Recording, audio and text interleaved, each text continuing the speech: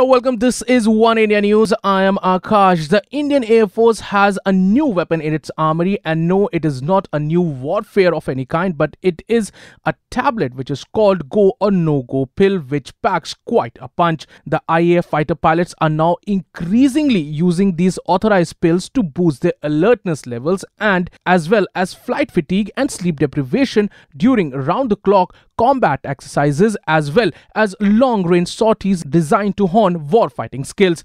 The Go pill are modafinil which have gained quite an admiration in the military aviation circles around the world for its alertness enhancing and fatigue managing properties. In the work for the past 3 to 4 years, these pills are extensively used in high voltage live wire exercises conducted by the Indian Air Force from October 31st to November 8th, which saw the activation of all its 54 air bases across the country.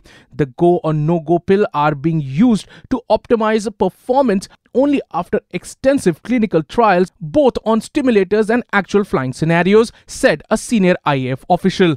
Well, that's all for now, but for more news and updates, log on to our YouTube channel www.youtube.com slash oneindianews.